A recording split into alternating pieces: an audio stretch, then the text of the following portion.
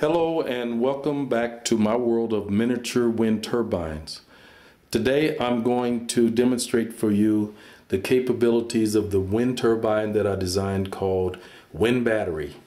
And it's called Wind Battery simply because it generates DC electricity by using uh, a permanent magnet motor that generates DC electricity when the shaft is turned.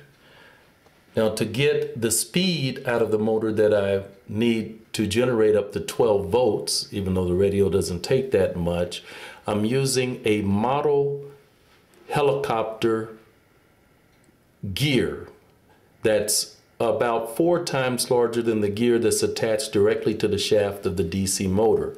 This means that every time the turbine head assembly turns one revolution, the motor itself will be turned four. Now the, bat, uh, the battery requirement for the radio that I'm using is only about four volts. And I've got my two alligator clips connected to where the batteries will make contact.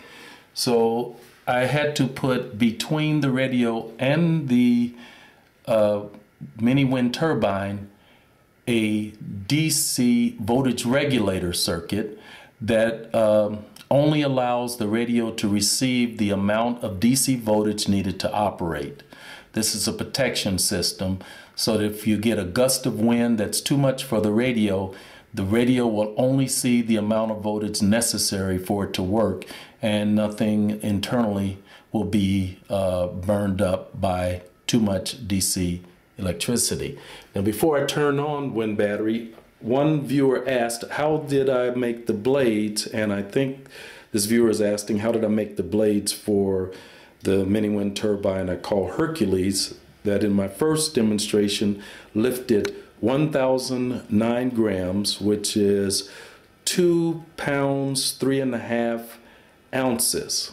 I'm going to show that quickly because uh, some of you might want to try making a small wind turbine. And I started off with flat material called styrene from a local hobby shop. This material is absolutely flat. I cut the shape of the blades that I wanted. And here it is right here.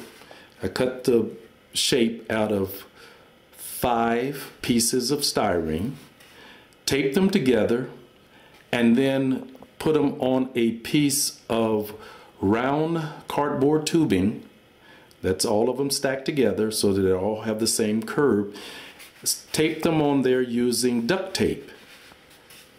Now once I did this and got the curvature that I wanted so I can get uh, lift on the on one side of the wing itself, I put this whole piece inside of the microwave for two minutes. There was no smell, no danger of fire or explosion or anything of that uh, nature. And as soon as the uh, uh, material got soft enough and curved, I took it out of the microwave, threw it in cold water, and it maintains even today it, the shape that I wanted. So that's one way to take a flat surface, which is what these wings originally were, and put enough curvature on them. On, I hope you can see that. There's a curve on them. So that uh, they actually work like an airplane wing. Now, with that out of the way, let's turn on our power source, which is a house fan, and get our radio working here.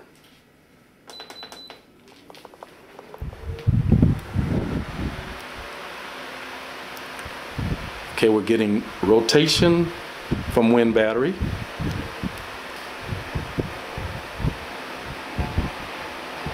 You can hear the gear. And there goes the radio. You see the power light. Let's go back around so you can see that no batteries have been added to the radio.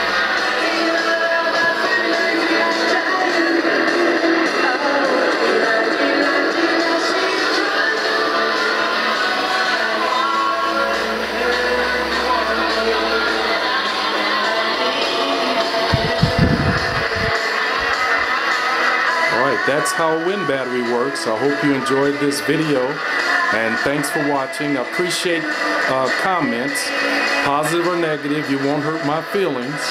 I just love to make these things and I hope that uh, more people will get involved in coming up with ways to solve future energy problems. Have a very nice day. Goodbye.